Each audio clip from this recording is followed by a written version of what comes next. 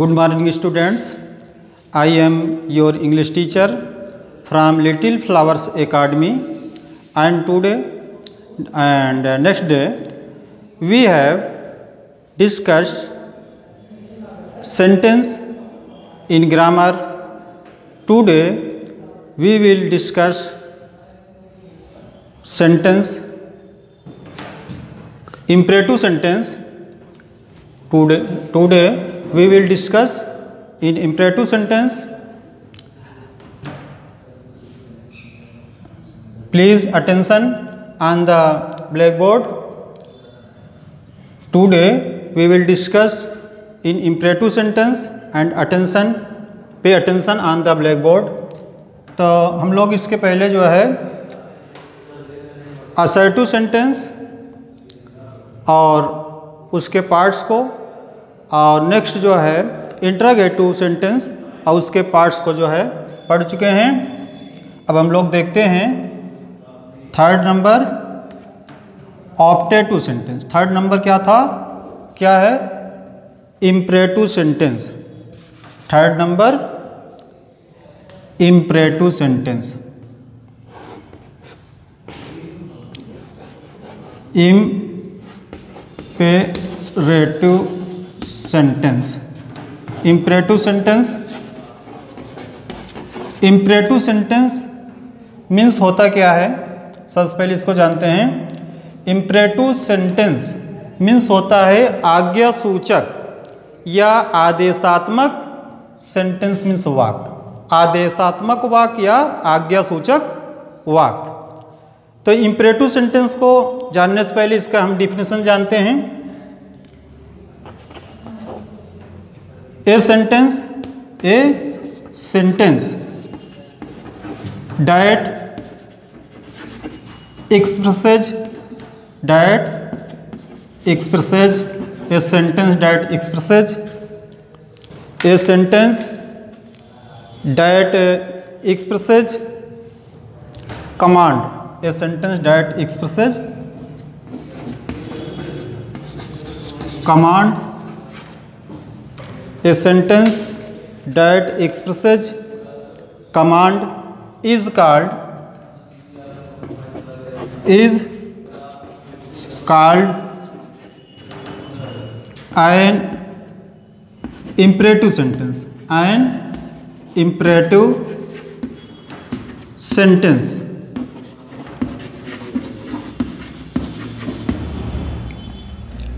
a sentence that expresses command is called an imperative sentence तो सबसे पहले हम लोग जो देखते हैं कि इम्परेटिव सेंटेंस होता क्या है ऐसे वाक जो ऐसे वाक जो कमांड या ऐसे वाक जो कमांड का भाव प्रकट करते हैं या प्रार्थना का भाव प्रकट करते हैं किसका भाव प्रार्थना का भाव प्रकट करते हैं या निवेदन का भाव प्रकट करते हैं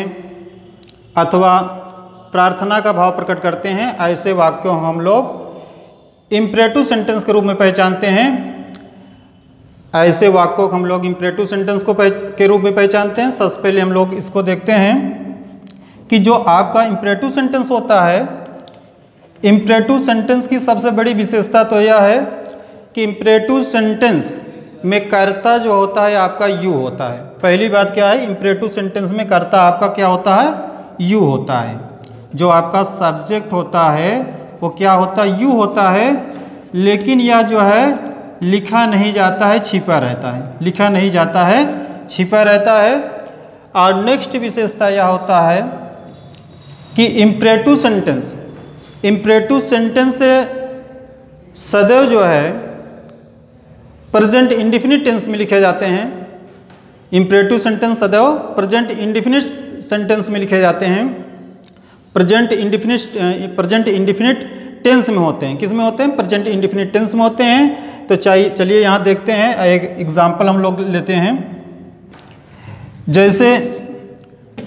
यहाँ देखते हैं कि लिखा जाता है stop the bus stop the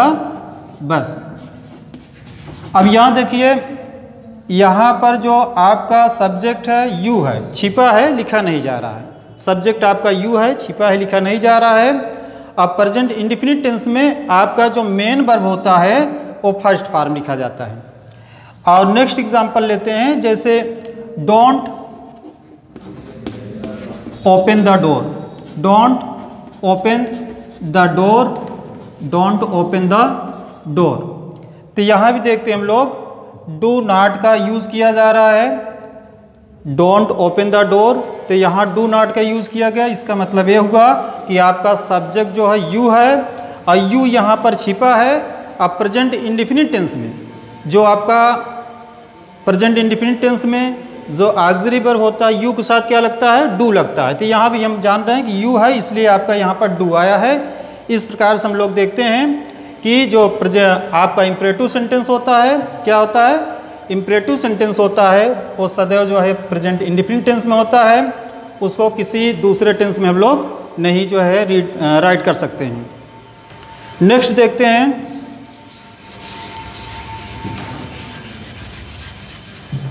इसकी नेक्स्ट जो है विशेषता देखते हैं कि जो प्रेजेंट इम्परेटिव सेंटेंस होता है वह जो है निगेटिव फार्म और अफर्मेटिव केवल किस में होता है अफर्मेटिव और निगेटिव फार्म हो सकता है इसका जो है किस में होता है इसका केवल अफर्मेटिव कौन सा affirmative forms affirmative forms and negative form affirmative form and negative form ही हमको देखने को मिलता है अफर्मेटिव फार्म और निगेटिव फार्म ही हमको देखने को मिलता है इसका जो है इंट्रागेटिव फार्म नहीं होता है इसका जो है इंट्रागेटिव फार्म नहीं होता है जो है एज एग्जाम्पल के द्वारा हम लोग देख लेते हैं जैसे देखिए stop the bus stop the bus stop the bus और यहाँ निगेटिव के रूप में लिख देख लेते हैं don't stop the bus don't stop the bus तो यहाँ हमने देखा कि जो आपका इम्परेटिव सेंटेंस होता है वह किस में होता है केवल अफर्मेटिव फार्म होगा या तो निगेटिव फार्म होगा लेकिन इसका इंट्रागेटिव फार्म नहीं होता है चलिए हम लोग अब आगे बढ़ते हुए देखते हैं अभी आपको जो है सर्वप्रथम बताया गया कि जो आपका इम्परेटिव सेंटेंस होता है उससे किसका भाव व्यक्त होता है कमांड का भाव व्यक्त होता है आर्डर का भाव व्यक्त होता है तो किसका भाव व्यक्त होता है आर्डर आर्डर का भाव ऐसे वाक जिससे जो है आर्डर का भाव प्रकट हो किसका भाव आर्डर अथवा कमांड का आर्डर अथवा कमांड का भाव प्रकट हो उसे हम लोग किस सेंटेंस के रूप में पहचानेंगे उसे हम लोग जो है इंपरेटिव सेंटेंस के रूप में पहचानेंगे जैसे देखिए उसे हम लोग किस सेंटेंस के रूप में पहचानेंगे इंपरेटिव सेंटेंस के रूप में ऐसे वाक जिससे आर्डर का भाव प्रकट होता है उसे हम लोग जो है किसके रूप में पहचानेंगे इंपरेटिव सेंटेंस के रूप में पहचानेंगे जैसे देखिए कहा जा रहा है stop the bus stop the bus अब इसमें हम लोग देखते हैं स्टाफ द बस बस को रोको तो इसमें आर्डर देने का काम हो रहा है कि नहीं ऐसे वाक जिसमें आर्डर देने का जो है काम हो या आर्डर देने का ऐसा वाक जिससे आदेश का भाव प्रकट हो किसका आदेश का भाव प्रकट हो उसे इम्परेटिव सेंटेंस के रूप में पहचानेंगे जैसे अगर कह दिया जाए don't pluck the flower from the garden don't don't don't pluck the flower pluck the flower pluck the flower from the garden from the garden from the garden don't pluck the flower from the garden देखिए इसमें भी जो है order देने का काम किया जा रहा है बोला जा रहा है don't pluck the flower from the garden बगीचे से फूल मत तोड़ो तो यह भी जो है आदेश देने का काम किया जा रहा है अब नेक्स्ट एग्जाम्पल लेते हैं जैसे स्टैंड अप जैसे बोला जाता है स्टैंड अप क्या बोला जाता है स्टैंड अप स्टैंड अप अब इसमें देखिए इसमें जो है किसका भाव प्रकट हो रहा है कहा जा रहा है स्टैंड अप जैसे आप लोगों को जो है क्लास में टीचर्स के द्वारा बोला जाता है स्टैंड अप खड़े हो जाओ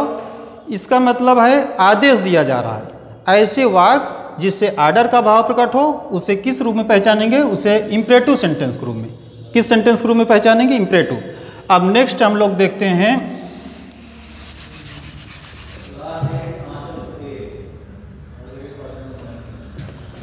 अब नेक्स्ट देखते हैं प्रेयर के रूप में किसके रूप में प्रेयर प्रेयर के रूप में देखते हैं प्रेयर मतलब प्रार्थना के रूप में जैसे देखिए ऐसे वाक जिससे प्रार्थना करने का भाव प्रकट हो उसे भी जो है इम्परेटिव सेंटेंस के रूप में पहचानेंगे जैसे प्रेयर किया जा रहा है please give me a glass of water please give me a glass of water ऐसे वाक जिसके प्रारंभ में प्लीज शब्द लगा हो उससे जो प्रेयर का भाव प्रकट होता है ऐसे वाक जिससे प्रा, जिसके प्रारंभ में प्लीज का प्लीज लगा हो या कांडली शब्द लगा हो उससे प्रार्थना करने का भाव प्रकट होता है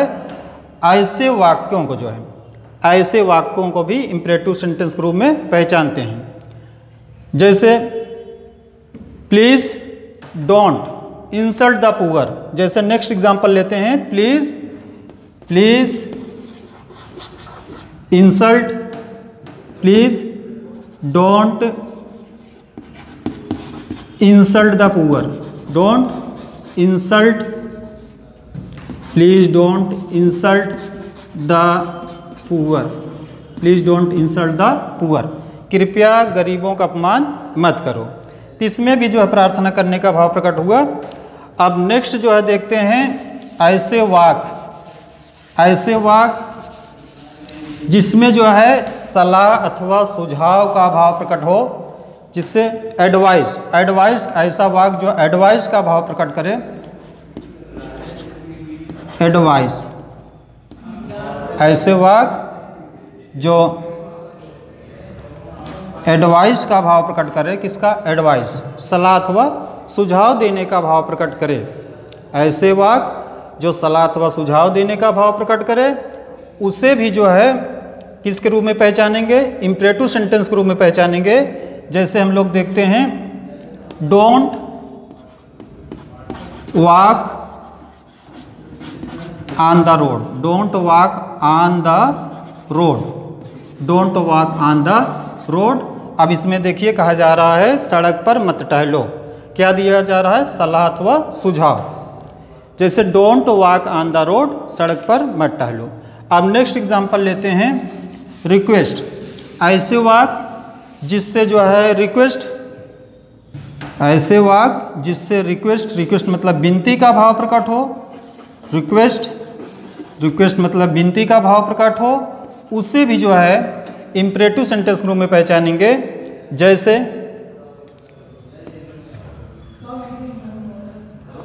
अब मुझे पढ़ने दो एज मीन जैसे let me read now let me read now अब मुझे पढ़ने दो let me sleep let me sleep now अब मुझे सोने दो अब देखिए इसमें क्या कहा जा रहा है विनती करने का भाव प्रकट हो रहा है कह रहा अब मुझे पढ़ने दो अब मुझे सोने दो यानी विनती करने का किया जा रहा है अब इसको थोड़ा सा यहाँ पर फिर से पुनः रिवाइज कर लेते हैं कैसे हम लोग जो है इम्परेटिव सेंटेंस को पहचानेंगे ऐसे वाक जिसका प्रारंभ जो है जिसका बिगिन किससे हुआ है वर्ब के फर्स्ट फार्म से हुआ हो वर्ब के फर्स्ट फार्म से जैसे वर्ब के फर्स्ट फार्म से अगर हुआ हो जैसे स्टाप या जो है रीड या राइट कुछ भी दिखाई दे वह आपका इम्परेटिव सेंटेंस होगा नेक्स्ट देखते हैं ऐसा वाक जिसके प्रारंभ में डोंट सब लिखा हो डोंट प्लस जो है वर्ब का फर्स्ट फार्म आया हो वो भी आपका इम्परेटिव सेंटेंस होगा तीसरा हम लोग देखते हैं ऐसा वाक जिसके प्रारंभ में प्लीज़ या कांडली शब्द दिखाई दे प्लीज़ या कांडली शब्द दिखाई दे वह भी आपका इम्परेटिव सेंटेंस होगा और ऐसे वाक जिसके प्रारंभ में लेट शब्द दिखाई दे लेट लेटस या लेट मी लेटस या लेट मी शब्द दिखाई दे ऐसे वाक्यों को हम लोग इम्परेटिव सेंटेंस के रूप में पहचानेंगे ऐसे वाक्यों को हम लोग इम्परेटिव सेंटेंस के रूप में पहचानेंगे आपके जो इम्परेटिव सेंटेंस होते हैं वो क्या होते हैं कि वी पुट यानी ऐसे वाक्यों के भी अंत में जो फुल स्टॉप लगे होते हैं ऐसे वाक्यों के अंत में भी फुल स्टॉप लगे होते हैं we put a full stop we put a full we put a full stop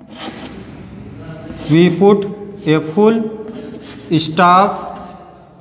we put a full stop at the full stop at the end of sentence end of sentence end of sentence we put a full stop at the end of sentence ऐसे वाक्यों के भी अंत में जो है आपको क्या दिखाई देगा ऐसे वाक्यों के अंत में भी आपको फुल स्टॉप दिखाई देगा जो है ठीक है बच्चों आज के लिए बस इतना ही थैंक्स फॉर वाचिंग वीडियो अब अगले वीडियो में आपसे फिर मिलेंगे थैंक्स